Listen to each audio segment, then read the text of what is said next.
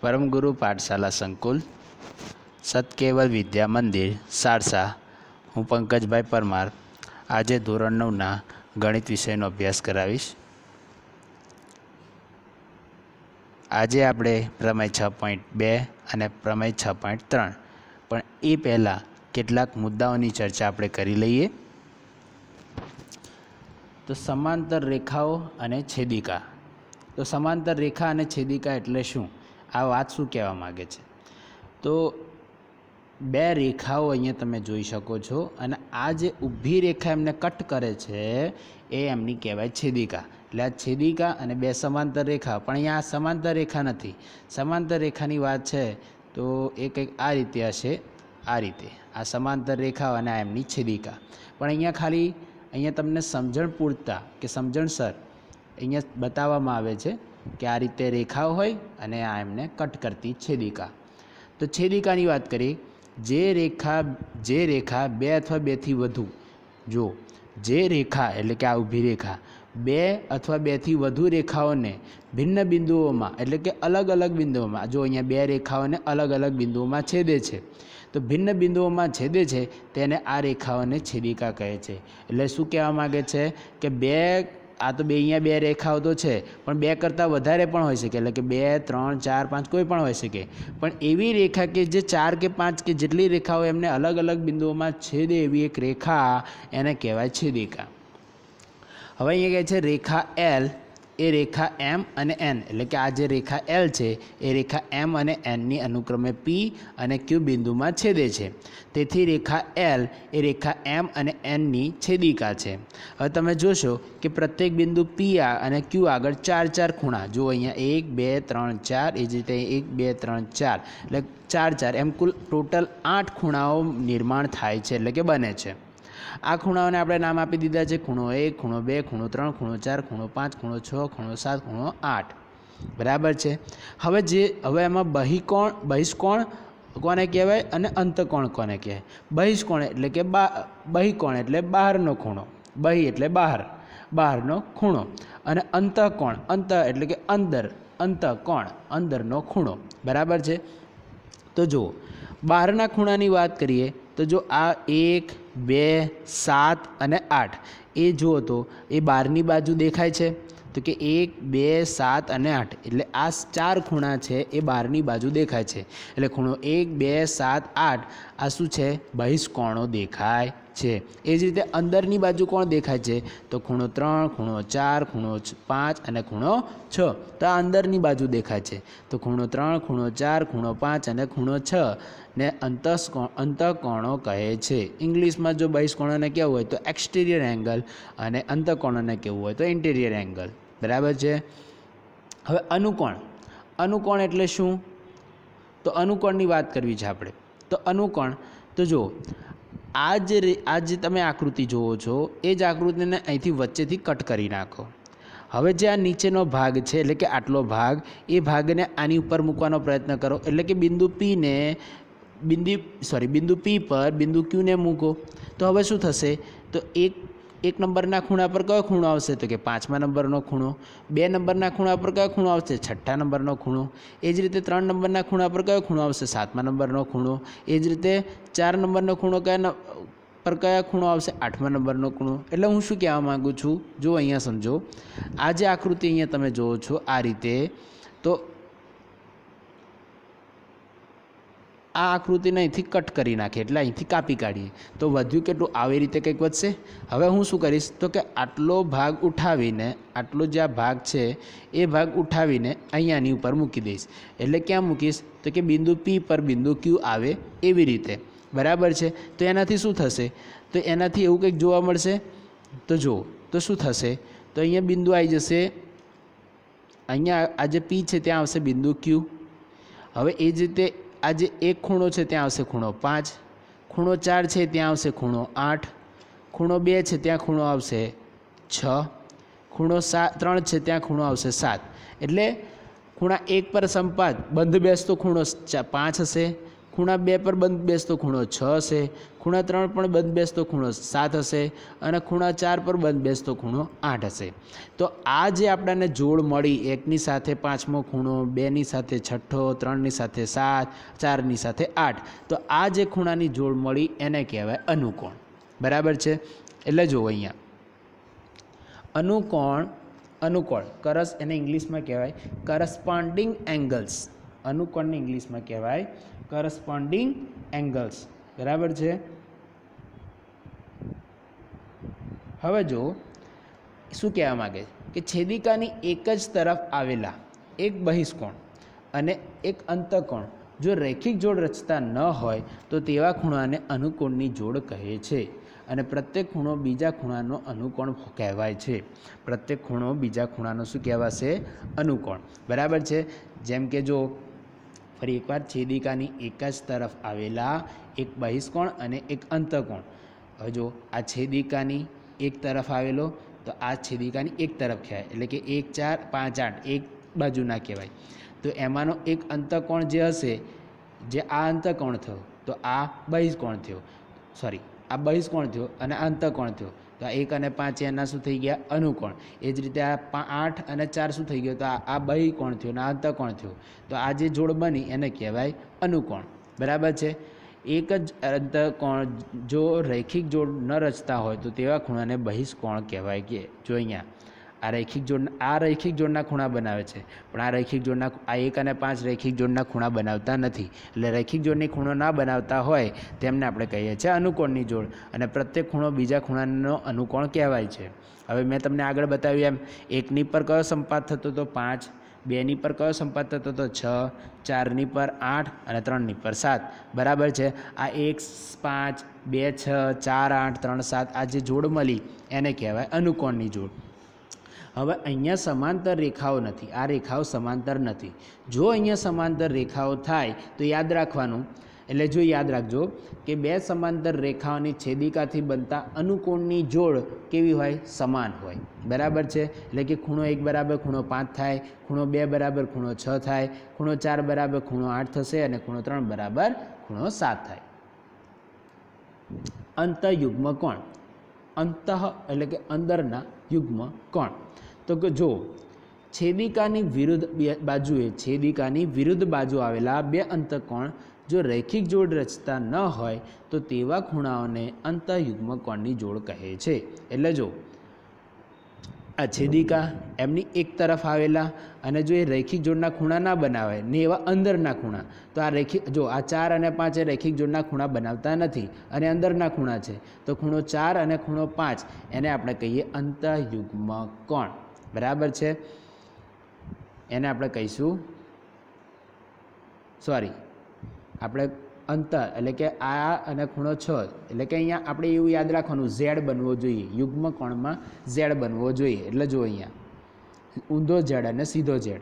તો જો આ ઝેડ બન્યો, તો કયો કયો ખૂણો? તો કે આ ખૂણો અને આ ખૂણો, એટલે ખૂણો ચાર અને ખૂણો છ, બરાબર? એ જ રીતે ઊંધા ઝેડની વાત કરીએ તો જુઓ. આ બને છે ઝેડ. ઓકે તેમાં કયો ખૂણો આવ્યો? ખૂણો ત્રણ અને ખૂણો પાંચ. બરાબર છે? જુઓ. અંતયુગ્મ કોણ? કે છેદિકાની વિરુદ્ધ બાજુએ છેદિકાની વિરુદ્ધ બાજુ આવેલા બે અંતકોણો જો રેખિક જોડ રચતા ન હોય, તો તેવા ખૂણાઓને અંતયુગ્મ કોણની જોડ કહે છે. પ્રત્યેક ખૂણો બીજા ખૂણાનો અંતયુગ્મ કોણ કહેવાય છે. અને ખૂણો ચાર બરાબર, અને ખૂણો છ, અને ખૂણો ત્રણ, અને ખૂણો પાંચ અંતયુગ્મ કોણની જોડ રચે છે. હવે શું કહે છે? ઘણી વખત અંતયુગ્મ કોણને યુગ્મ કોણ પણ કહેવામાં આવે છે. હવે આપણે વાત કરીએ બહિર્યુગ્મ કોણ.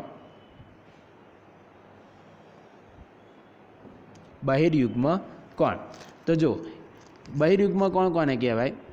તો અહીં કહે છે કે છેદિકાની વિરુદ્ધ બાજુ આવેલા બે બાહ્ય કોણો જો રેખિક જોડ રચતા ન હોય, હવે શું કહે છે? છેદિકાની વિરુદ્ધ બાજુ આવેલા બે બાહ્ય કોણો જો રેખિક જોડ રચતા ન હોય, તો તેવા ખૂણાને બહિર્યુગ્મ કોણ કહે છે? અને પ્રત્યેક ખૂણો બીજા ખૂણાનો બહિર્કોણ કહેવાય છે. એટલે અહીંયા પણ ઝેડ તો બનશે જ, પણ કેવી રીતે? તો જુઓ ધ્યાનથી. બહિર્કોણની વાત હોય તો બારના ખૂણા લેવાના. આ ઝેડ બન્યો. હવે બારનો ખૂણો કયો છે? આ અને એની બહારનો અહીંયા સોરી આપણે ફરી એકવાર દૂધ દઈએ. આ ઝેડ રચે છે. ઓકે તો હવે બારનો ખૂણો એટલે આ થયો અને એ જ રીતે બહિર્કોણ એટલે બારનો ખૂણો. તો એકની સાથે કયો ખૂણો આવ્યો? સાત. એ જ રીતે ઊંધો ઝેડ બનાવીએ. આ રીતે બનશે. એમાં બારનો ખૂણો કયો થયો? બે અને આઠ. બરાબર છે? એટલે જો અહીંયા એક અને સાત, બે અને આઠ.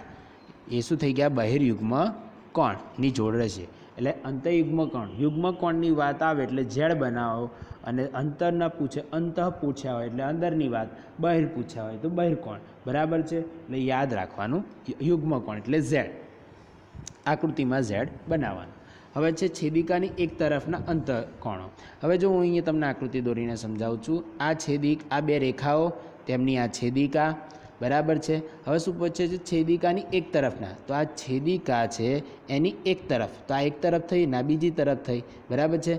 આપણે આ સાઈડનું લઈએ કાં તો આ સાઈડનું લઈએ? બેમાંથી એકનું ભાગ લઈ લેવાનું. એટલે કે છે, છેદ, છેદિકાની એક તરફના અંતકોણ. અંતકોણ એટલે કે અહીંયા અહીંયા જો આ એક, આ બે, આ ત્રણ અને આ ચાર. આ પાંચ, આ છ આ છ, આ સાત અને આ આઠ. તો ખૂણો અહીંયા કયો આવ્યો? અહીંયા ખૂણો ચાર આવ્યો અને અહીંયા ખૂણો પાંચ આવ્યો. એટલે ખૂણો ચાર અને ખૂણો પાંચ અને ખૂણો ત્રણ અને ખૂણો છ. એ શું થશે? અંત છેદિકાની એક તરફના અંતકોણ. છેદિકાની એક જ તરફ આવેલા બે અંતકોણો છેદિકાની એક તરફના અંતકોણો કહે છે. અહીં ખૂણો ચાર અને ખૂણો પાંચ તથા ખૂણો ત્રણ અને ખૂણો છની છેદિકાની એક તરફના અંતકોણો છે. છેદિકાની એક તરફના અંતકોણોને અનુક્રમિક અંતઃખૂણા અથવા તો સંબંધિત કોણ અથવા તો સહ આંતરિક ખૂણા પણ કહે છે. હવે કહે છે, સમાંતર રેખાની છેદિકા દ્વારા બનતા ખૂણાની જોડની સંબંધો. તો પૂર્વધારણાઓ છે, એ જોઈ લો. પૂર્વધારણા નંબર છ પોઈન્ટ ત્રણ, જો એક છેદિકા બે સમાંતર રેખાઓને છેદે, તો અનુકોણની પ્રત્યેક જોડ સમાન હોય. જે આગળ આપણે વાત કરીએ સમાંતર રેખાની નથી, પણ જો સમાંતર રેખા હોય, તો અનુ, જે એમના અનુકોણની પ્રત્યેક જોડ હશે કેવી થશે? સમાન. એટલે કે ખૂણો એક બરાબર ખૂણો પાંચ, ખૂણો બે બરાબર ખૂણો છ, ખૂણો ત્રણ બરાબર ખૂણો સાત અને ખૂણો ચાર બરાબર ખૂણો આઠ. એનાથી ઉલટું પણ સાચું છે. એટલે શું કહેવા માગે છે? પૂર્વધારણા છ પોઈન્ટ ત્રણને અનુકોણની પૂર્વધારણા પણ કહેવામાં આવે છે. હવે તેનાથી ઉલટું જો પૂર્વધારણા નંબર છ પોઈન્ટ ચાર. છ પોઈન્ટ ચાર. જો એક છેદિકાની બે રેખાઓને એવી રીતે છેદે, જો એક છેદિકા બે રેખાઓને એવી રીતે છેદે કે જેથી અનુકોણની એક જોડ સમાન હોય, તો તે બંને રેખાઓ પરસ્પર સમાંતર થાય. અને એટલું યાદ રાખવાનું, એક જોડ સમાન હોય એટલે બાકીની બધી જોડ સમાન જ હોય. એટલે અહીંયા શું કહેવા માગે છે કે છેદિકાની, જે છેદિકા છે, બે રેખ, બે રેખાઓને એક છેદિકા એવી રીતે છેદે કે જેથી એક અનુકોણની જોડ સમાન થાય અને એક અનુકોણની જો જોડ સમાન થાય એટલે બાકીની બધી જોડ સમાન જ થવાની છે. બરાબર છે? એટલે જો સમાન થાય તો સમાન થાય તો શું થશે?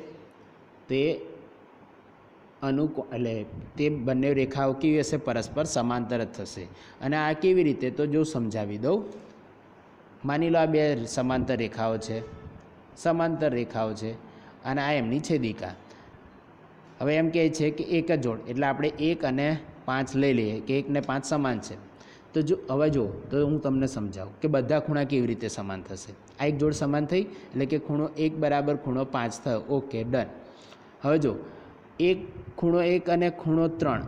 આ ખૂણો છે, એ ખૂણો અને આ ખૂણો. એ શું થઈ ગયા? તો કહે છે અભિકોણ. અભિકોણની સામસામેની જોડ સમાન. તો આ ખૂણો ત્રણ અને ખૂણો એક. કેવા થઈ ગયા? સમાન થઈ ગયા? અને એ જ રીતે ખૂણો બેની વાત કરીએ, તો ખૂણો બે. હવે ખૂણો એક બરાબર ખૂણો પાંચ. તો ખૂણો આ સામે કયો હશે? સાત. એ પણ સમાન થશે. ખૂણો પાંચ અને સાત પણ અભિકોણની જોડ થઈ ગઈ. હવે અને જો આપણે નેવ અંશમાંથી બાદ કરીએ તો આપણને આ કોઈ ખૂણો મળશે. એ જ રીતે એ પણ આ નેવમાંથી હું બાદ કરીએ તો આ જે ખૂણો હશે, એ જ આ ખૂણો થશે, એટલે કે આ બે સમાન થશે.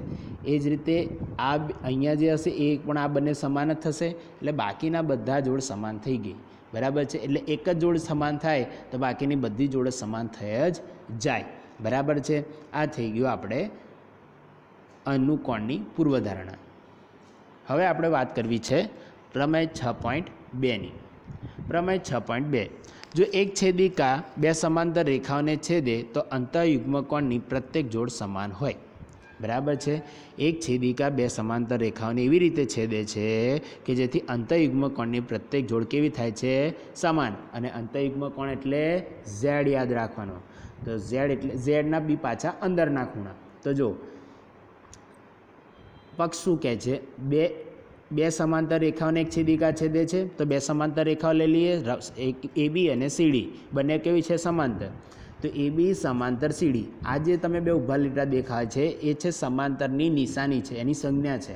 કે આખું સમાંતર ના લખવું કે એ બી સમાંતર સીડી તો આને આવી રીતે દર્શાવી દો, એટલે એનો મતલબ થઈ ગયો એ બી સમાંતર સીડી તો રેખા એ બી સમાંતર, રેખા સીડીની છેદિકા પીએસ એ એ બી અને સીડીને અનુક્રમે આર અનુક્રમે ક્યુ અને આર બિંદુમાં છેદે છે.